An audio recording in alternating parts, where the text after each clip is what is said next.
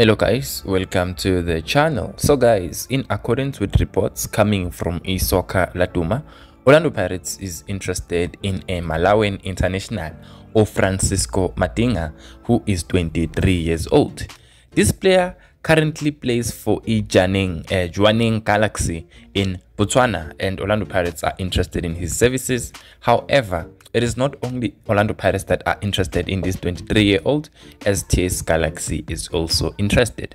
This is what the sources revealed. It's a tricky situation as TS Galaxy wanted him before he even joined Ijwaneng in January this year. Things were just a bit slow, hence he went to Botswana. And now, Orlando Pirates are also interested in him. Galaxy want him to replace uh, Chekofaso Nyama, who will be joining Cape Town City, while Orlando Pirates are looking at Vincent Pule replacement. Guys, there you have it. This is in accordance with the SIA crew coming from Soccer Laduma. OT this player is a potential replacement for Vincent Pule. I also posted on the comment uh, community tab to say Pule might leave. Sundowns wants him again, but I'll make a, a separate video about that one.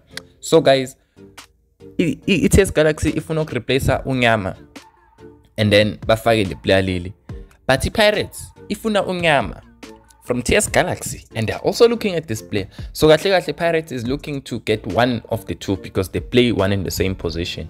Yabo. So if Nyama goes to Cape Town City because now it's a fight between Pirates and Cape Town City, then Pirates will try and fight for this player. Yabo. But if Nyama comes to Pirates, I think this player will just go to TS Galaxy. I don't know how that will work out, but I don't think both the players would come to play for Pirates. But as this uh, as it stands, it looks like Pule will leave the club. I am not sure about Fetu, but reports are suggesting Gutai. Agasadlali, it's been a long time. He's not injured. What is the problem? What is happening behind the scene?